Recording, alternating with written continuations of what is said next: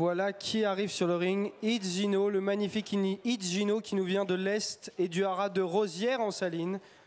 Un cheval aux origines allemandes, un fils de Perugino, la mère par Lomitas. Lomitas qui est le père de Dan Dream, gagnante en un temps record de l'arc. It's Gino qui lui-même a couru l'arc.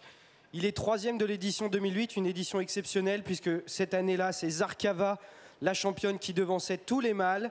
Et lui, Gino, il était troisième ex aequo avec Soldier of Fortune, lui-même un grand champion devenu un excellent étalon d'obstacles. Et il battait à cette occasion plein de chevaux qui allaient devenir des étalons assez connus. Vision d'État, Ask, Papal Bull, Duke of Armelade, Zambezison, Kamzin et bien sûr Blue Brésil. C'est le meilleur cheval allemand en 2018. Il a commencé la monte en Allemagne. Et il s'est illustré avec ses premières générations allemandes, notamment avec ce cheval que vous avez vu sur la course de référence, Lalor, qui a gagné groupe 1 en obstacle à Intri. Lalor qui fait l'actualité puisqu'il vient d'être troisième d'un groupe 3 battu d'une tête.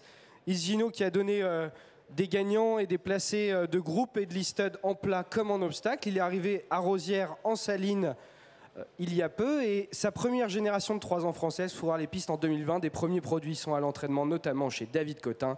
C'est le Rocodor historique de l'Est. Il a sailli 107 juments en 2019, ce magnifique cheval, fils de Perugino.